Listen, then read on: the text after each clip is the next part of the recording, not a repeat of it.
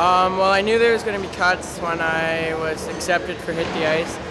Um, and I've just been mentally preparing and just not trying to psych myself out too much and worry about it, but just do everything I can in my power to hopefully at the end of the day be in the best position to make the cuts. Um, I feel that it just brings up the compete level for everyone else. Like everyone's a little bit nervous, but everyone's gelling and the compete level is at an all-time high because of the cuts.